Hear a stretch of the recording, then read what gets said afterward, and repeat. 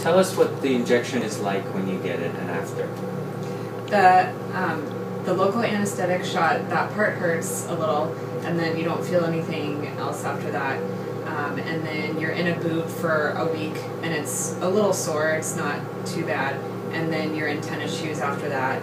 Um, and by like the second week, it doesn't really hurt um, almost at all. How long did it take for the PRP to really start to work and make a big difference in what you felt? After the second PRP, within a week, I could tell a huge difference. Excellent. So there definitely is a little bit of synergistic effect to it. The first one starts to work, the second one brings more growth factors to the area. Um, and usually two is enough, but in your case, because it was so bad, we're going to give you a third injection. Okay? Okay. I'm just going to numb her. Uh, we've already done an ultrasound um, and looked at where the plantar fascia is the thickest. Uh, and now we're just going to numb up her skin basically. So it's just a little local injection here just to numb up the skin in the area of her heel. I can feel right there is a little bit tight and a little bit scarred. And that's it.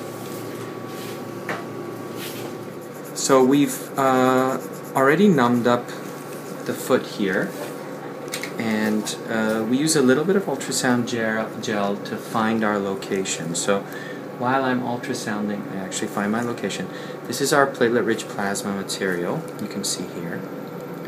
Uh, and so we're going to go into the area that we've numbed already, and under ultrasound I'm going to actually find my spot. And I can actually feel it here, that it's very tight.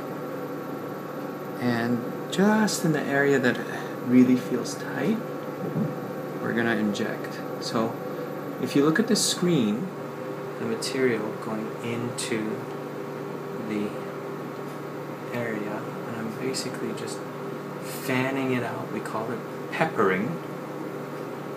And I'm just peppering into the toughest areas. And that little white dot that pops up is actually the injection.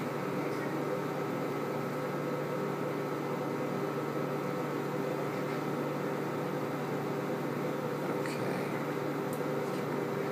And I still can feel some of the irritation areas.